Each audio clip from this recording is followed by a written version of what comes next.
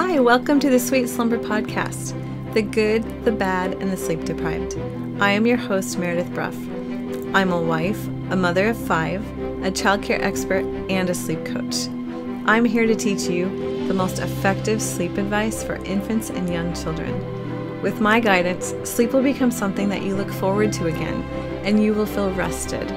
I believe that motherhood is the most important and demanding role that we have but the challenges and accomplishments that go along with it go unnoticed frequently. We are going to talk openly about these things so that we can draw strength and compassion from each other. I will share my perspective as a seasoned mother and help you experience more fulfillment.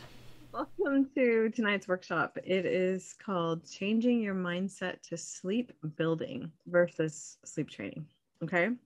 So, we're going to talk about this and we're going to talk about all sorts of good things tonight. And I'm excited about this topic because I've never really taught anything like this in bits and pieces, but never focusing on this topic completely. So, my topic has come from the posting and the discussions that we're having in social media and the Facebook group. So, it's great because I have resources that you can look at and um, refer to. You've been already thinking about these things, and we're just elaborating on them and you're getting a major perk because in social media, I'm just putting this one thing out there. In the Facebook group, I'll do a short video. But with you guys, I'm going to do a very in depth conversation about this topic of pros and cons of sleep training and um, crying methods and non crying and what matters and what works. And also, like, what you need to do mentally to adopt or embrace this approach. And hopefully, by the time we're done here, you'll feel really good about um, being part of my membership site and following my approaches and my advice, and maybe even feel at peace in your heart, in your mother heart, about everything about where you're at, what you've done, and what you're doing, and the timeline that you're waiting for and on right now as you develop sleep habits. So, this title, Changing Your Mindset to Sleep Building, I've been kind of reading what other experts say about sleep training just to prepare myself for these posts that I've been making. And one of them said that you could call it sleep training or sleep learning or sleep teaching. And I'd never heard that before, that these other terms. And I thought, well, that's cool. I don't have to use sleep training to help other people um, explain themselves. You know, in my successful sleep group, I tell people not to say sleep training because it always means cry it up or Ferber to many people. Anyways, the more I thought about it, I was like, it doesn't work. Nobody's going to even be familiar with the sleep teaching and sleep learning phrase. And then I realized that I talk about building sleep habits all the time. That's like my favorite phrase. And I'll talk about that in a second. Why? Um, so I'm going to just kind of start using that. I've used peaceful sleep training, and now I'm thinking we're going to go more towards sleep building. So um, it's just the way that we do things in baby steps and that we lay a foundation and we get it right and we take our time and we're building skills instead of just throwing a kid in a crib and shutting the door. So it's quite a different process. I know a lot of other experts are definitely teaching about sleep cues and room environment and routines and schedules and stuff like that. So I know that there's more to it. But when it comes to teaching little ones to self settle and sleep through the night, there's just not that much support. So um, I'm going to refer to some things that I've taught. I'm going to share my screen. So yesterday's post, um, I explained what sleep training is in the world you might think sleep training means improving a baby's sleep, but it's a little more in depth than that. It means teaching your baby to fall asleep without help from you, fully awake, drifting off without being rocked, swayed, cuddled, nursed, or shushed. They learn to fall back to sleep and connect sleep cycles without help too. Sleep training is often associated with crying, especially cry it out and Ferber, where you are not supposed to console your child. I think with um, Ferber, you're able to um, or calm them just a little bit when you go in for time checks. Um, but you're not allowed to pick them up. But then I just said, but does it have to be like this? You know, where it's associated with crying? Do you have to choose between sleep training and not sleep training? Because that's what I read that people are deciding between these two things. Um, and I just said there's a lot of sleep training that doesn't work for many parents and children. You have parental intuition and instincts, and they're powerful tools. They help you know and meet your child's needs, communicate with them, and comfort them. They help you make decisions. The intuition and instincts help you make decisions for your child's well being and sense when something's wrong. And no one else can do this for you or for your child. No one else has the superpower. And so then I just kind of go into that sort of thing. And I want to go back to that in a minute. But um, I just want to help you think about some things. Um, sleep experts teach parents to sleep train using methods that are strong in one way or another. They want you to do what you need to do to get your child to fall asleep on their own and connect sleep cycles. That's the big focus. And some don't mind any amounts of crying for any length of time, um, where others are more compassionate and teach you to check in as long as it doesn't make your child cry harder. then don't do it, right? Um, for the gentle crying methods, it's okay to be there and comfort your child, but you're still meant to be a thousand percent consistent, push through using the methods day and night over and over until your child sleeps well.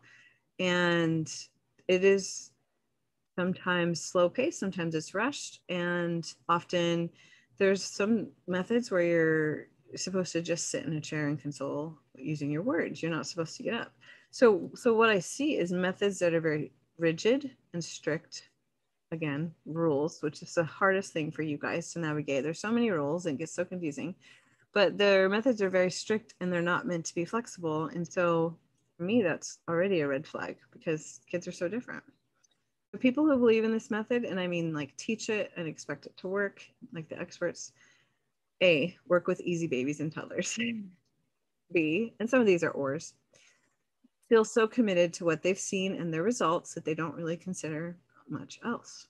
See, they don't, they know these methods don't work for all babies or parents, but they're still so determined to use their methodology because it works for so many of their clients. They don't really, this is deep, don't really consider trying anything else or coming up with something new. They don't understand the need for something different. And I haven't settled like that. I couldn't stand the thought that my methods and approach wouldn't work for kids, any kids. That broke my heart. I needed answers for everyone. I worked hard, I prayed hard, I tried everything, I researched everywhere and prayed and pondered some more over the course of the last three years. And I'm sure that in six months, I'm going to know some new things. I'm always learning, and I love that. I'll find some ideas that work even better. My journey has helped me see that many kids and parents need something different than what's available in the books, what's available in the blogs, what's available from the sleep experts. And many parents are struggling and hopeless and they've chosen to wait for years and co-sleep because they had no more energy to give into trying new ideas or repeating the same ideas. And there's very peaceful sleep coaches out there who believe in waiting and letting go so you aren't stressed. So this mentality is like attachment parenting and co-sleeping and just let go. Just stop worrying and go with the flow. I just found a new lady yesterday who teaches that. And I think it's really good because they're letting a lot of moms off the hook and letting go of stress taking away all this pressure, which is one of the things that I want to do for you too, um, especially the sleep rules that are out there. And the problem is these experts haven't found solutions. They're doing good work and they're supporting moms and opening up their eyes to new things, but they haven't solved the sleep struggles. So today um, in my post, I wrote about the experience I had when I changed my approach from gentle methods to non-crying methods. And so I want to just go over that with you. I'm going to share again. So we're not looking at the left side yet. We got the right side here. I kind of talk about how I understand why Cry It Out or Ferber are chosen. Number one, the doctors and experts are saying they work. You go into a sleep group and the moms are like, yes, do it. It'll, it'll work. It'll be great for you. Um, and like nobody's really talking about non-crying methods. It's just very rare. Um, you know, the big sleep groups with 50,000, 25,000, 100,000 people are all in the same mentality. And so how how could you think you need something different right? Um, so i told the story of how my non-crying methods came about. And so that's the part i wanted to share a little bit. I wrote, when i started sleep coaching full-time my one-of-a-kind methods were compassionate and supportive. But my clients and i weren't concerned about having a completely non-crying experience at the time. For most of my clients it was okay if their little ones cried for a short time like a minute or two but we always calm them quickly the way that worked best. And just like my methods that I have now, it would work up to that. It would be like you know, we're just letting them fuss a little bit or protest for 30 seconds and then the next time a minute and building like that. And over the process, we would usually be able to tell that the child was fake crying or protesting. But it, it was different because now I just say when your child calls you to wait a little bit. And um, always my clients would comfort the kids the way that worked best. And we would do it as often as we needed. So I was always very supportive of children and their emotions, but I just had some things happen that changed my my ways. Um, so then I start to talk about some of the things that that I believe and I learned, and I think these are great because this is some of the stuff that I want to talk about today. What's different about me? So I knew that it wouldn't be good to make abrupt changes. That was an intuitive feeling, and I think that's because making small baby steps works well for us. And for me, it was just like of course, of course, you don't change things fast overnight. And then this next one, I knew that it would be okay to go back to what children were used to while we built the new habits. That was another intuitive thing where I just knew that if we introduce something for a short time and then we go back to the old habit, that it would be comforting and keep these kids calm and cooperative. And I just saw that work more and more, and it became my new thing. And I said here, for the first 15 years, I worked with little ones in my daycare during the day and sent them home at night with no instruction. I really did. I just did what I did during the day and I sent them home. I don't even think I talked to the parents much at all about it. It was just part of my work. Um, and then by day four, they were sleeping for about eight hours or more, and I didn't tell the parents what to do. So this explains that it works to build sleep habits during the day, during naps and bedtime, uh, which is more than I was doing. I was only doing naps. Children can learn to sleep well at night without changing the night pattern. And I should say, without the parents changing their night pattern. That's a typo. In my full time work, I learned many other insights. For example, a mom could skip the method at nap or bedtime and continue on the next time without missing a beat. So that's something that I teach people is when you're using a method, if things don't go great or perfect every time, that's okay. As long as you're trying to move forward from day to day, even in tiny baby steps, then you're moving forward. And if your child is not cooperative and it's not going well, you're not moving forward, my first guess would be that it's a bad time, that your child isn't feeling well. And my second guess would be maybe it's the wrong method. But I like to give it some time, at least four or five days. And then I also like to try and make accommodations for the child to make sure that we're not triggering something that upsets them, like shutting the door. Like um, when you tr- put their sleep sack on, are they crying because they know it's time to go to bed? So you can do things to accommodate them. And I focus on independent sleep, but it's okay to do things in baby steps there too, where you just focus on getting your child to fall asleep in the crib. That's a really big deal. Don't worry about the independent part yet. You can do that later. Um, so the next one is since I've been working primarily with challenging babies and toddlers for the last three years, I've found that keeping them calm and cooperative is the best way to progress. They can get very emotional, intense, and resistant if they cry at all while we work with them. So you find that certain things make them cry, and if it's the wrong timing, it makes them cry. And if you're doing something too pushy, moving too fast, changing things too suddenly, taking away something and just being stubborn that you're not, you know, like taking away pacifier or taking away breastfeeding to sleep or bottle feeding to sleep or rocking. If you just take those things away cold turkey for kids that aren't super easygoing, they're not going to like it and it's not going to really work. Um, it could just be very upsetting. Um, so it's just kind of my theory like, why bother with the crying methods if you can do it peacefully? Um, some stubborn and difficult babies and toddlers don't like change. You have to be sneaky. And that's really a big part of my work is, or my methods is be sneaky, keep pushing them a little at a time so they don't really notice. It's the coolest thing. Um, and then it says, I learned that my non crying methods work great for all temperaments so that's one of the things that I really want people to understand is they don't have to have a really difficult child. It'll just go faster and easier. So then I talk about this list. So I'm going to stop again, go back to what I was teaching you. We'll talk about that list later. Um, so working with children who aren't easy to care for when it comes to sleep has taught me everything I'm passionate about now. Everything that's been so important and life changing for other people. This post just touched the tip of the iceberg on the differences in my approach. To learn more about the differences, I suggest you listen to my podcast episode number three. Um, it's called The 10 Keys to Successful Sleep. And it's a guide for what to change about your approach. It's a guide to what's different about me and how I do things. And it's not very like point blank with examples. So maybe people are like, dang it, I wanted more of this, but that's okay because I I feel it's important to spend some time on that topic and really kind of like this this um, workshop where I'm really explaining the differences in lots of things. That's just a really great place to focus on the method and and explain a lot of different a lot of the things I'm talking about today, but even more so. It's a guide for what to change about your approach. So you can find that podcast episode number three on sweetslumbertime.com forward slash podcast.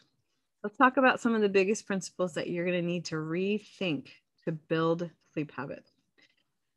When I say that again, I'm trying to help you picture a process like building a foundation and adding to it brick by brick and making that foundation and that structure strong strong enough to be storm proof earthquake proof hurricane proof um, which is what happens when our kids go through all these different periods where they don't feel well.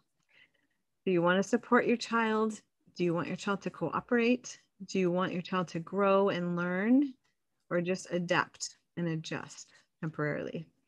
Some tough, tough kids make progress using uh, crying methods.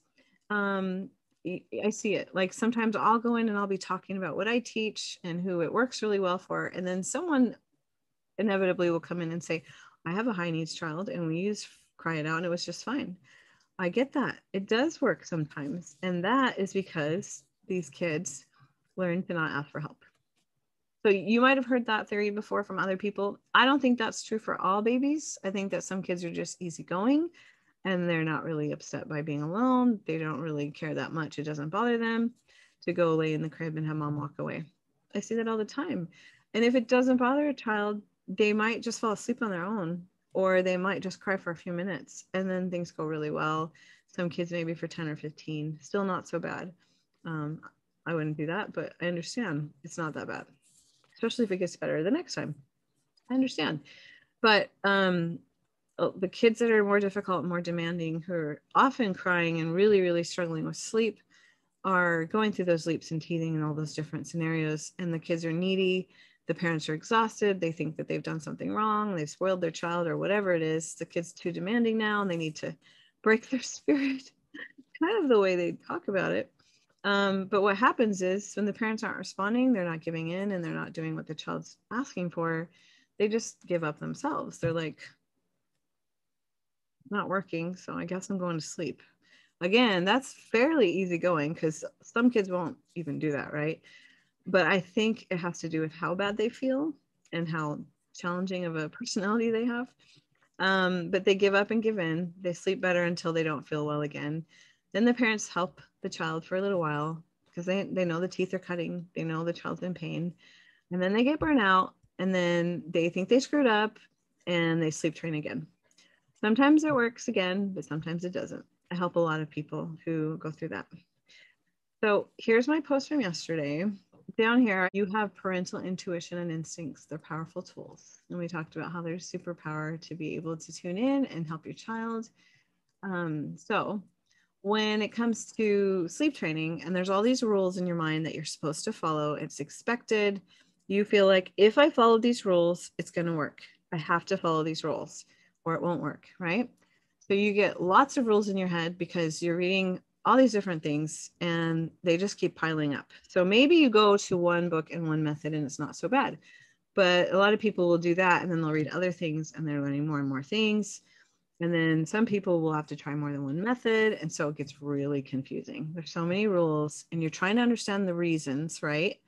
And then sometimes the reasons conflict and the methods conflict. The experts are conflicting with each other.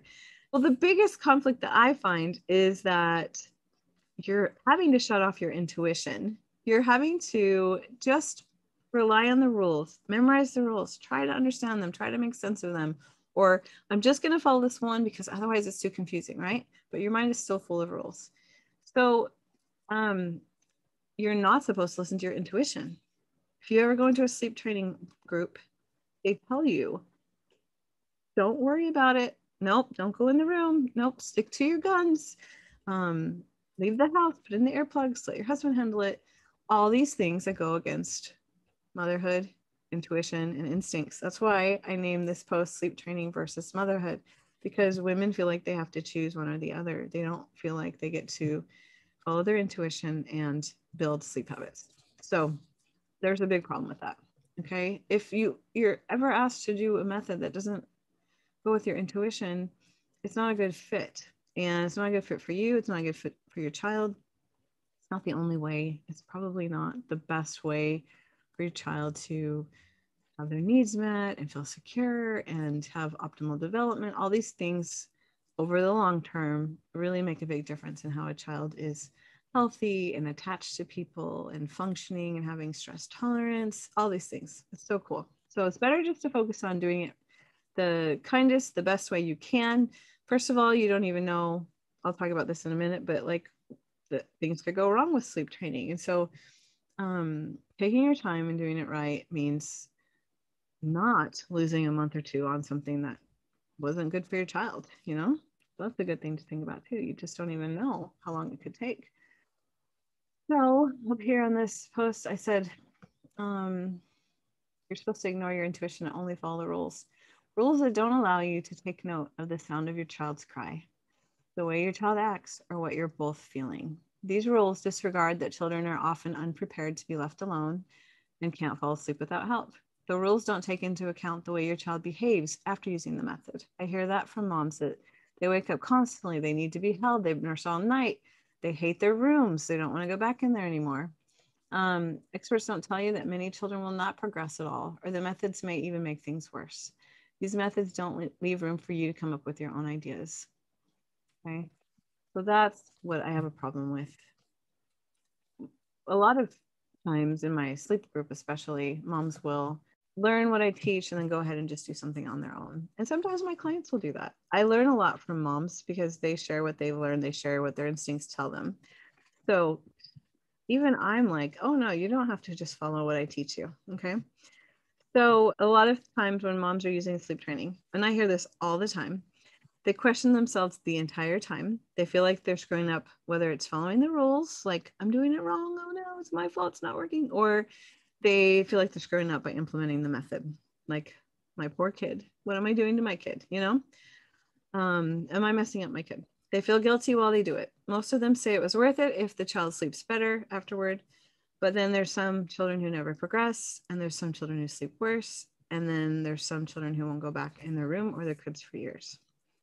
So let's talk about the rest of today's post that I made that has the um, the list of there are 16 reasons to not sleep train using crying methods. So some of these reasons are for you and some are for your child. So a child could be too sensitive or energetic. So a crying method for a sensitive baby could just really put them over the top because they are really, really upset. They're crying a lot. They throw up, that sort of thing. Um, and like, I just think mostly about the stress of of changing so much suddenly and pushing hard and not letting them go back to that comforting way of going to sleep.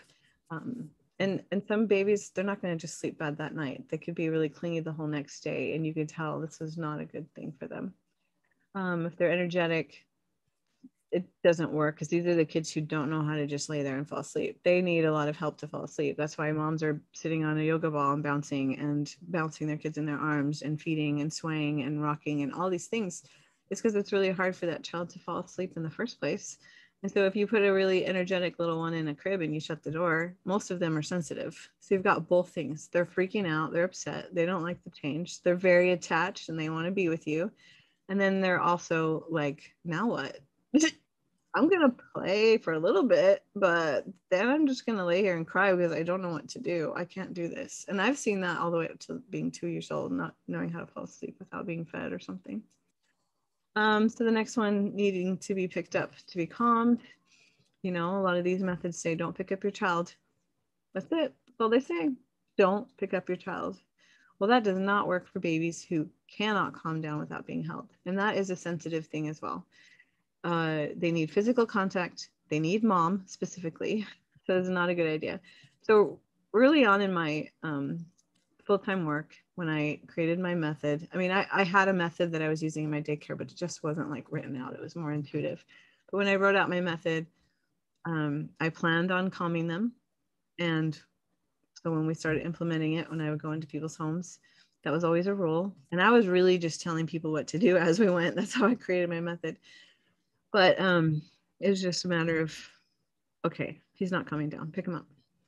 Okay, he's calm. Lay him back down now. Okay, he didn't stay calm. We're done.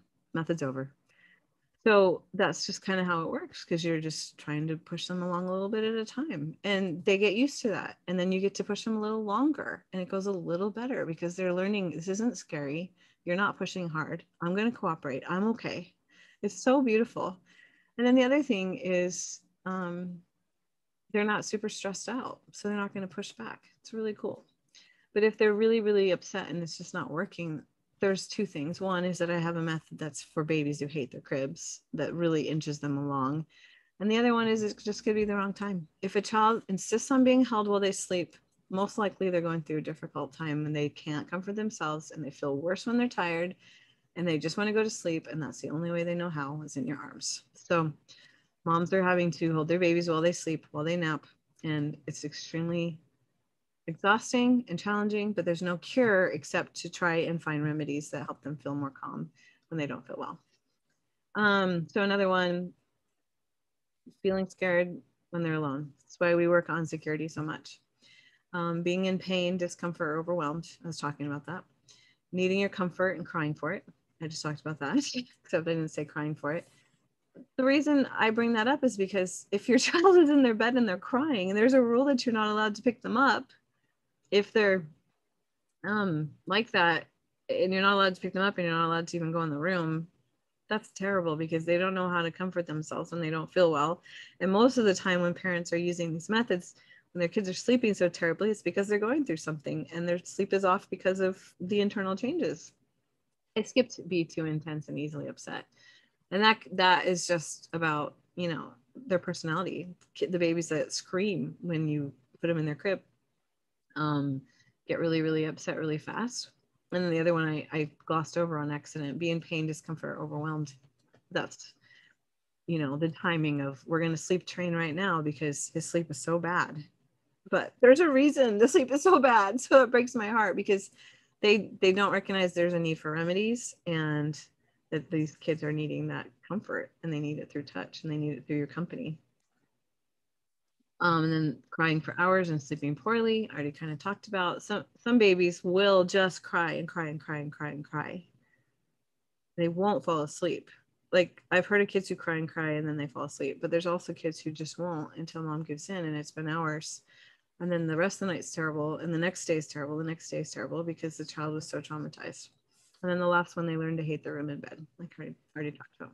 And then on the right side, you may have lasting guilt and regret I have had moms tell me they have adult kids and they say, I still feel guilty. I still feel terrible. Or they might have a five or 10, 15 year old and they tell me that. Um, feel conflicted. So while you're doing the method, like I said, you might be like, oh, I'm messing up, or this doesn't feel right. I can't believe I'm supposed to do this. Is this really supposed to work? Is it working? Should I keep going? And then you ask someone in the group and they're like, keep going. And then there's me saying, no, don't do it. This isn't a good fit. so lots of conflict. Turn off your intuition. So if you have to turn off your intuition, it's not a good idea. This is an outdated practice that is not taking into account that mom instincts and intuition work and they're awesome and that we should care about how our children feel and we should be there and support them and not stress them out. Um, some moms lose confidence because they're trying it and it's not working and they think they did something wrong, or they feel like a failure because their kid's not sleeping well. And that is so not mom's fault.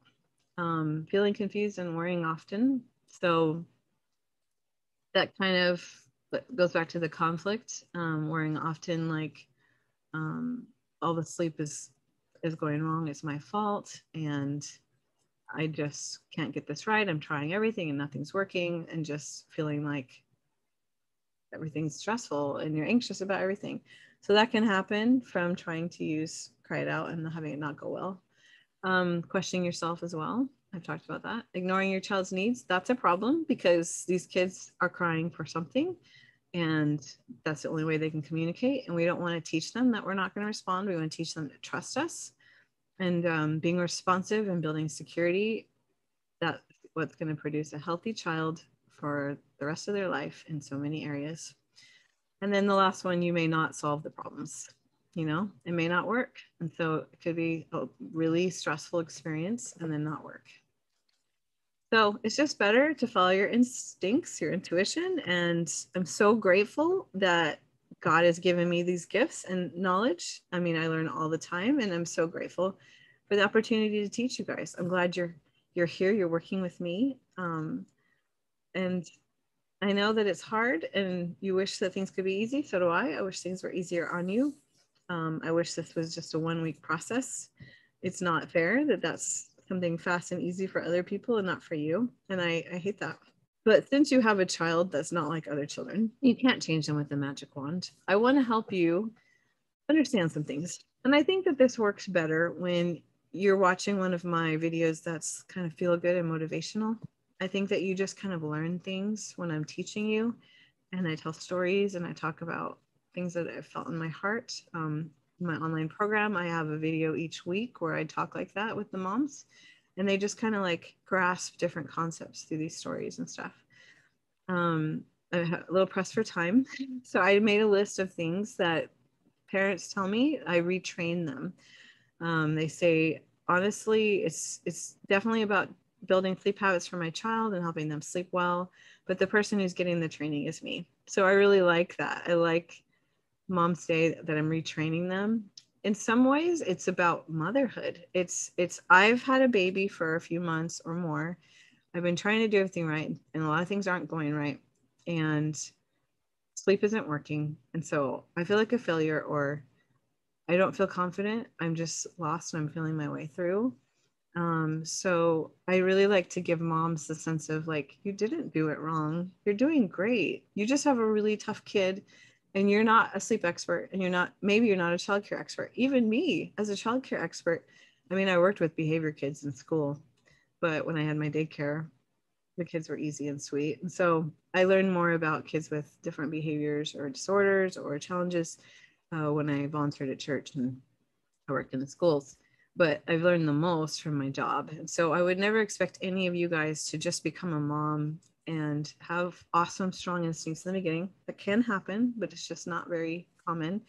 I wouldn't expect you to totally know who your kid was and what they're going to be about, you know, who they are, or how to handle anything from the moment they're born. No one, mothers like that. You learn as you go. And the more you can tune into your instincts, the better you're going to do with knowing how to take care of your child and raise your child. Shutting off your instincts while you build sleep habits does not build your instincts. It doesn't build your confidence. It actually can destroy it, but it also can just make things take longer because you didn't have that experience like you're having. Those moms aren't having that experience like you're having, where you are tuning into your intuition now. You're tuning into your child now and building that. So it's it's a blessing. So um, I think it's funny that um, I want you to call the the child aspect of this sleep building, but for you, I'm like we're retraining you. We're retraining your mind and your heart, and that has everything to do with all of the stuff you've been fed for however long you've been a mom or however long you've been reading and learning. Um, it takes a lot of work to retrain yourself. So I just want you to understand like I don't want to change who you are. It's just that I want to take away those things that are making you question yourself, making you feel um, underconfident, and those things that make you feel like a failure, and those things that are confusing and conflicting. I, I just want to help you with that, especially because my clients who work with me for weeks or months still send me messages months later saying, Are you sure are you sure this is going to work? Are you sure they're going to be okay? Are you sure we're going to recover from this? Because regressions still happen, um, especially every six month ones. But it's always easier and better. They just kind of freak out in the beginning, like, oh no, it's to be like the old days. And then it's, it's mild and they're like, okay, you were right. Um, sometimes they, they have a tough one, but it can be really scary. And so I'm giving you a little taste of what moms come back to me with um, so, but like I said, they always tell me that I'm retraining them and how good that feels. So, the number one thing is re- really, truly let go of the rules and what you've read. And I'm not saying things about nature and things that you've proven already. So, like if you're a firm believer in white noise and swaddles and, and um, blackout curtains, that's not what I'm talking about. I'm talking about all the rules that say don't rock your child. Don't feed your child to sleep. Um, if you hold your child in the night and they already knew how to put themselves to sleep, you're messing things up. If you co sleep, then you're destroying your child's sleep. If your child cries and you give in, you're you're just gonna have problems. You know, I want to help you let go of all the rules that people have created that don't go with your intuition that are mostly about sleep training. Okay. Number two, really truly tune into your child's needs. When you are worried about a bad habit forming, take deep breaths, blow out that breath, and think about what your child needs in that moment. You know what he needs. You're giving it to him. Stop worrying about how things are going to get messed up and you're going backwards and you're going to have problems later. Stop worrying about that. Please just tune into what your child needs and be in that moment. Tune into their heart. Tune into their soul. Tune into your own soul. Listen to your intuition. It will just benefit both of you. That's what I'm asking. I'm asking you to benefit both. Um, and by the way, this I'll share these notes. I'll share my outline in the under the video. Number three, if you are concerned your child is fine and is just being stubborn, because I'm always talking about when they cry for a reason, when they're acting that way, it's because they're going through something tough. And honestly, I do think that that's the case most of the time. The kids can be in a regression for months in a row. Moms don't ever believe me, but most of the time that, that is what's going on, or it's that they're just really high needs and really sensitive and really attached to you. But if you feel like they're just being stubborn, make sure you know what's going on. Re- go through my regression posts in my Facebook group under the regression topic. Um, in the Instagram, go to the regression highlight and on my Facebook posts. They're the same in the three places. I can help you overcome this sort of thing too. You can set up a one on one session with me. So understand regressions, know that your child's not having any of these elements. And I mean separation anxiety, milestones, growth spurts, mental leaps, teething. Those are all going to affect your child. And if any of them are overlapping, it's worse. And some of them can just be more intense leaps. You know, some teeth hurt more. I feel like some kids go through teething worse when they're older because they're more aware of the pain. In the night, it's always worse because they're not playing, they're not distracted, and they're trying to sleep and they're tired and they feel like crap. So, what I'm saying is, in these cases, if you think your child's stubborn and nothing else is going on, and they're still clingy and they're still insisting on being held while they sleep and you can't get out of co-sleeping or whatever it is i do have lots of workshops. Look through those but you can set up a one-on-one session with me and we can work through these problems okay? So you're not stuck. Um, so back to my list. When you think your child has sleep crutches remember in my eyes these are tools. Unless you have an easy baby who you can just put in a crib and pat them and say goodnight baby or if you've tried that for a couple weeks and it didn't work, most likely your baby's a little bit challenging and you've just developed either survival skills that you needed because you need sleep too, or you've found some tools that actually help your child sleep. Okay, so don't be obsessed, especially the big one is sleep association. Um, feeding to sleep is not always a bad thing. If it's not broken, you don't have to fix it. Some people are very good about, you know what, I just want to teach my child independence so that we don't have problems later. And I am a huge fan of that mentality. But there are kids out there who feed to sleep and they sleep through the night. It's not a big deal. It's not a problem. It's not a bad thing. Um, if you have to rock your child for five minutes before they go to sleep, that is because your child probably cannot slow down unless you rock your child to sleep. Some people have to cuddle their child or they will not go to sleep. And that's a great substitute for a feeding association. Um, it's just the way it is with these kids. You go from one to the next. You can't always get rid of them all. And then maybe as they get older, you know, you can take away some of these crutches. Um, but just don't stress about it so much. And remember what I said earlier that you can work on naps and bedtime, respond in the night following your heart, and these kids can still sleep well. It's just so natural to feed in the night. It's so natural to need comfort and reassurance when they're changing sleep cycles. We want to help all that stuff go away and it will when they feel well. Um, so work on those remedies and understand all the signs and know uh, what they're going through. And if it's just too hard then please set up a one-on-one call with me and i'll help you through this. Um, number five when you feel like you messed up remember you were responding you were following your gut giving your child what he or she needed You might have been in survival mode, and you wouldn't change a thing if you could go back because you did what worked. And you also didn't know all that you know now. Okay. So just don't blame yourself. Number six, when you feel like you're going backwards, try to think about what you're giving your child. I have posted about, oh, it's in my episode five uh, podcast. I talk about all the benefits of building security and being patient. Um, it really, truly helps your child's brain, helps them develop socially, mentally, intellectually, physically, and emotionally to be responsive and teach them security and be engaged and be a very loving, gentle parent. Okay. This is an awesome thing. Um, slow down your expectations and let go of the pressure you're feeling. Your child is feeling that pressure too, and it won't help you. Number seven, no matter what bad habits you think you formed, you can always teach a child or reteach a child. I tell my clients that all the time like, you know what? No, you're probably not going to have to reteach your child. If you do crib playtime and all the activities, and you teach your child trust and you use a non crying method, um, use a night response plan, all of these things, then your child is going to go back to their strong habits. You're going to know what to do, and they're going to just go back to them. It's going to be okay when they feel well. But so what? If you have to reteach it, big deal. You've got the methods. Just pull them out of your bag and use them again. I've, I've had it happen because there's been people who've just co-slept and then they didn't know what to do. So I just tell them, use the method again. Um, all right, number eight, it's not bad to respond in the night with holding and feeding. They're natural responses. Your child is craving them. See, skip ahead sometimes. They need physical touch. They need to eat at night sometimes. Being flexible is the best way to go. Number nine, don't think about other babies and where they're at. Think of your child's needs only. Number 10, don't think about what other people tell you. It doesn't matter what they think. You're the best judge and decision maker the only one in tune to your child's needs with your own parenting style.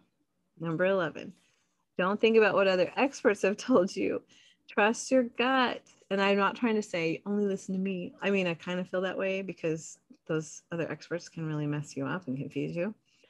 But what I want is for you to trust your gut because you can listen to me and feel what's right, and you can listen to other people and feel what's right, and you can get rid of the stuff that you don't agree with, and you can get rid of the stuff that's conflicting, and you can get rid of the stuff that you don't want to adopt, you know? There's a lot of that out there. So let go of the expectations. This is the other stuff you've been programmed with is children should be sleeping through the night at this age. They should be sleeping for 12 hours. You shouldn't feed them for 12 hours. Uh, if they wake up earlier than you want, just let them cry for a while. No, actually tune into your child because that's probably not going to help them change. And babies need to eat anywhere from eight to 12 hours after you feed them. 12 hours is a goal, but it's not going to happen for all of them. And it can happen over time. So that's just a couple of examples. Um, let go of the rush, let go of that I need it now feeling because you don't have a magic wand. So you can't change things overnight and you can't change who your child is. Okay. Um, you're going to need extra patience for some babies go through you're going to go through really hard times for long periods with some babies. I hate that this happens but it does. And if you have to go into survival mode or ask for help or make sacrifices for help please find ways to do it. Find ways to let go. This is a temporary time in your life. You really will come out of this period and you will be able to look back and it's not going to last forever. Number 12 last one. Don't blame yourself for things not going as planned. You're an awesome mom Okay. Not your fault. Your child is tough. Your sleep is tough. You've been surrounded by people who've had it easy, and that's exhausting. It's not fair and it's not right to you, but you are not the reason things haven't gone right. You've done an awesome job. You're an awesome mom. I promise. All right, guys. I hope that it was helpful and I hope that you're doing well. Um, and I will see you later. Thank you for listening to the Sweet Slumber Podcast the good, the bad, and the sleep deprived. If you enjoyed the show today, please take a moment to write a review, leave a rating, and subscribe so you won't miss future episodes. This will also help more mothers find my show. Thanks for listening.